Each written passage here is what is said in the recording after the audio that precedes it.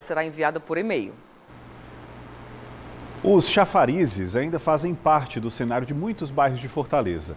Eles atravessaram um tempo prestando um serviço importante para a população mais carente, ofertando água de qualidade e de graça. Os mais de 100 equipamentos existentes na capital passam por constante manutenção e alguns foram até reformados recentemente.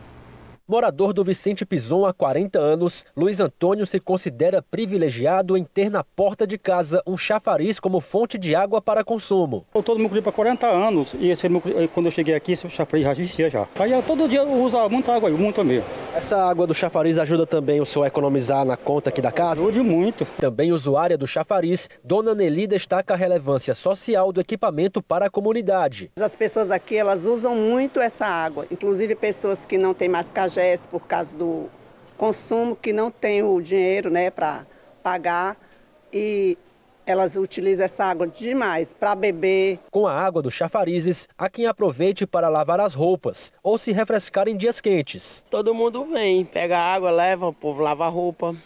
Serve muito no bairro, é muito útil. Somente aqui na Regional 2, quatro chafarizes estão em operação. Dois no Mucuripe, um no Vicente Pison e este no bairro Joaquim Távora. Os equipamentos têm média diária de consumo de 135 litros por habitante. Não há previsão de acréscimo dos equipamentos na cidade, apenas manutenções preventivas dos que já existem. Todos eles têm um programa de manutenção e a prefeitura acompanha diuturnamente o trabalho que é feito neles. Muito além de fornecer um bem essencial como a água, os chafarizes estão ligados às histórias das comunidades de Fortaleza. Por isso, devem ser preservados. Essas comunidades, durante muitos anos, não tinham acesso à água tratada e aí ficou dentro do histórico dela o uso dessas estruturas e que a gente preserva. Hoje, dos 135 litros habitante dia, que em média é consumido, é, é, assim, 4,5 é para dessedentação humana, para beber.